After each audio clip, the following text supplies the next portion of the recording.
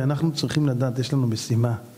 משיח צריך לבוא, השאלה אבל אם הוא יבוא. הוא ישאל כל אחד ואחד מאיתנו, מה עשית לכבוד השם?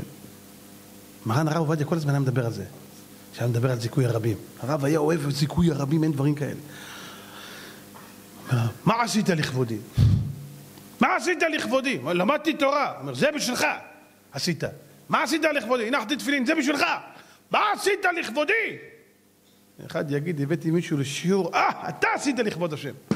הלכתי, עשיתי, לקחתי ספרים וחילקתי אותם לאנשים והם קראו בהם, אתה עשית לכבוד השם. נתתי דיסקים, אתה עשית לכבוד השם. אתה עשית לכבוד השם. אתה כיבדת את ה... רבותיי, אני רוצה לומר לכם, ואני צריך לחזור על זה, השכם והערב והשכם והערב, כי דברי תורה צריכים חיזוק. כל מי שבא לשיעור ביום חמישי, זה קודם כל הוא מתחזק, דבר שני, יש לו זכות שהוא מחזק אחרים. למה? כי כשאתה בא, אז יש עוד אחד בשיעור. אני אשאל אתכם שאלה רבותיי.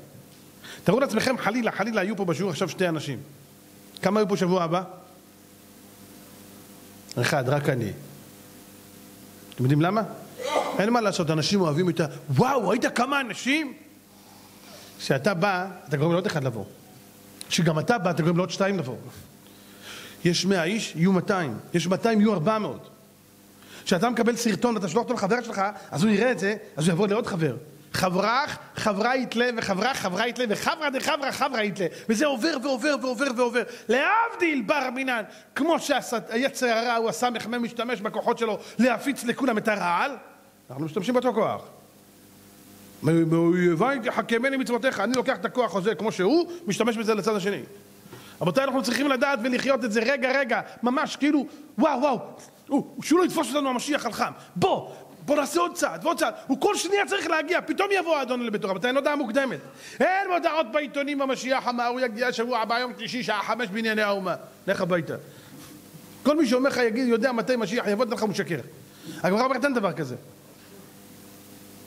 כל מי שמחשבי קיצים, טיפח רוחו. אין דבר כזה. אנחנו צריכים לדעת. פתאום יבוא האדון אל ביתו. פתאום יבוא האדון אל ביתו, אני מוכן או לא מוכן. זה אחת ההכנות הכי גדולות, אני אומר לכם עוד פעם. דאגת לחבר שלך, דאגת לשכן שלך, דאגת למשפחה שלך, דיברת איתם. למה לא?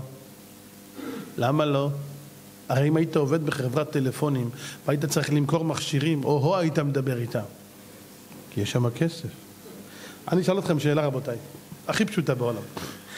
חבר'ה, יש לי הודעה דרמטית בשבילכם, יש לי תקציב מביל גייטס. מי שמביא שבוע הבא חבר, מקבל אלף דולר על כל שיעור. כמה יהיו פה שבוע הבא? רבותיי, כל אחד תופס אנשים ברחוב, אתה בא איתי, אני לא נפוצץ אותך, אתה בא איתי. הרב, הבאתי אותו, קח אותו, הרב, קח אותו. אתה לא תביא אותם, אתה תמלא מכוניות. הרב, יש לי פה עשר, בבקשה, עשרת אלפים דולר. הרב, הבאתי אוטובוס, חמישים אלף. הרב, הבאתי אונייה, אני רוצה בית. הבנתם? אבל מה לעשות, אין כסף. אם היית מאמין בשכר של הקדוש ברוך הוא שכסף לידו זה בדיחה, אז היית עושה. אבל אנחנו לא מאמינים כנראה. רבותי, האמונה שלנו מספיק, לא מספיק חזקה.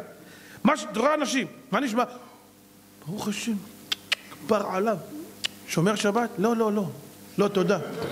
אז איך אתה... איך זה הולך ביחד? לא נהגנו, לא נהגנו. אנחנו לא נוהגים. אם שותים, לא נוהגים, אח שלי.